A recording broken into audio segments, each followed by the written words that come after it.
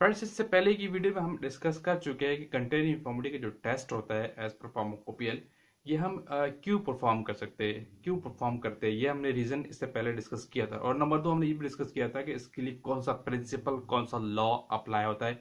ये भी हम इससे पहले वीडियो में डिस्कस कर चुके हैं। लेकिन आज हम इसी वीडियो का रिमेनिंग पार्ट डिस्कस करेंगे और हम ये देखेंगे कि इस कंटेंट इन्फॉर्मिटी के टेस्ट को परफॉर्म किस तरह किया जाता है। नंबर एक। नंबर दो ये कि इसका एक्सेप्टेंस क्राइटेरिया क्या होता है। ये दो चीज़ें हम आज की वीडियो में डिस्कस करेंगे। आगे जाने से पहले एज यू नो आप देख रहे हैं मेरा चैनल वॉइस ऑफ़ क्यानी और मैं सफदर खान क्यानी चैनल पर न्यू है, चैनल को सब्सक्राइब लाजमी कीजिए ताकि टेक्निकल वीडियोस का नोटिफिकेशन आपको मिलता रहे। बेल आइकन को भी क्लिक कर दीजिए। अच्छा फ्रेंड्स आगे जाते हैं और देखते हैं कि इसको परफॉर्म किस तरह करते हैं। देखिए, जब भी आप कोई भी कंटेंट इन्फॉर्मिटी का टेस्ट परफॉर्म करते हैं, आप एक रेंडमली थर्टी टैबलेट्स आप ले लेते हैं थर्टी यूनिट्स आप ले लेते हैं। किसी भी आप देखते हैं जब आ, कोई ऐसे किसी भी टेबलेट का परफॉर्म कर रहे हैं हम इसको टेबलेट को कंसिडर करते हुए बात करते हैं तो आपको इजी वे में समझ आ जाए। मतलब दूसरे डोजेज फॉर्म पे अप्लाई होता है। अच्छा अगर कोई भी हम रेंडमली जब आपको किसी टेबलेट का ऐसे परफॉर्म करते हैं तो आप ट्वेंटी टेबलेट्स लेते हैं उनको क्रश करते हैं फिर अपना सैंपल का वेट करते हैं स्टैंडर्ड का वेट करते हैं और अपना ऐसे परफॉर्म करते हैं। अगर वो स्पेक्ट्रो पे है तो स्पेक्ट्रो पे अगर एच पे है तो एच पे।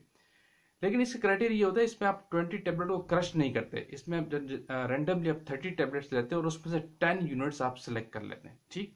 उन 10 टेबलेट्स का आप सेलेक्ट करके इंडिविजुअली सैंपल प्रिपेयर करते हैं। यानी एक एक एक टेबलेट को अलग अलग एक एक कोनिकल फ्लास्क में डिजोल्व कर लेते हैं या ब्रेक कर लेते हैं जो भी क्राइटेरिया एज पर जो आपके पास मेथड डिफाइन होता है।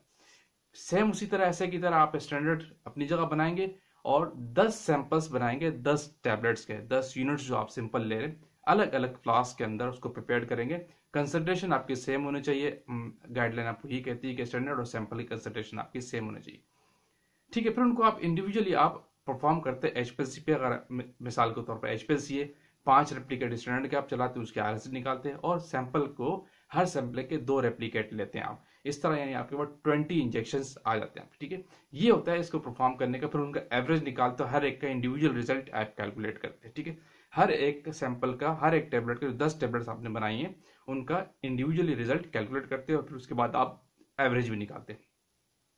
ठीक, ये तो रिज़ल्ट आपने निकाल लिया। लेकिन ये रिज़ल्ट एक्सेप्टेड किस सूरत में दूसरी पॉइंट हमारा ये था कि इसका एक्सेप्टेंस क्राइटेरिया क्या एक्सेप्टेंस क्राइटेरिया की हम बात करते हैं तो इसका क्राइटेरिया यही है कि आपने जो टेन इंडिविजुअल सैंपल्स बनाए हैं, उनमें से आपका एक भी यूनिट्स जो है ना वो लिमिट से आउट नहीं होना चाहिए। इसकी लिमिट क्या है?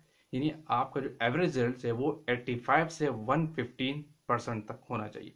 यानी आपके 10 इंडिविजुअल यूनिट्स जो हैं, वो कोई 85 आए 86 आ जाए 90 आ जाए 110 आ जाए 111 आ जाए 113 परसेंट आ जाए लेकिन इस रेंज के अंदर होना चाहिए। ये नंबर वन क्राइटेरिया इसका ये है और एवरेज रिज़ल्ट आपका इसी रेंज के दरमियान आना चाहिए। लेकिन अगर कोई आपका यूनिट एक आउट हो जाता है, इस पर कोई एक रिज़ल्ट आउट हो गया आपका तो वो और वो रिज़ल्ट भी 175 यानी 75 परसेंट लो हो गया या 125 परसेंट तक आप हायर लिमिट पे चला गया। इस रेंज में भी आना चाहिए। अगर रिज़ल्ट आपका आउट भी एक होता है तो वो उसकी लोअर लिमिट 75 से लेस नहीं होनी चाहिए। 75 से अबव होनी चाहिए और सेकंड हायर लिमिट भी 125 से अबव नहीं होनी चाहिए। ठीक है, ये पॉइंट भी याद रखिएगा।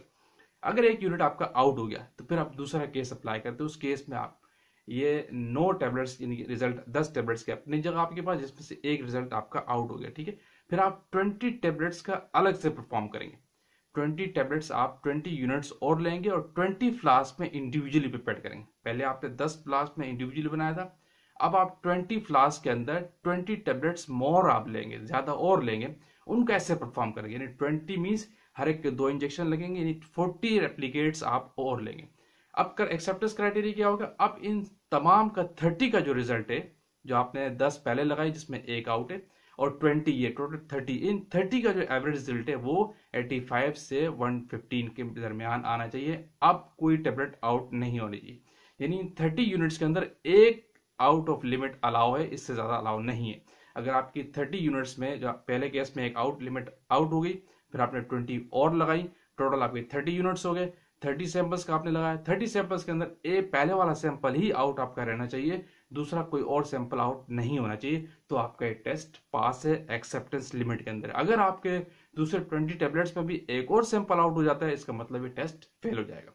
ठीक, क्लियर? ये इसका वेरी सिंपल तरीका है एक्सेप्टेंस क्राइटेरिया का, और दूसरा था कि इसको हम परफॉर्म किस तरह करते हैं।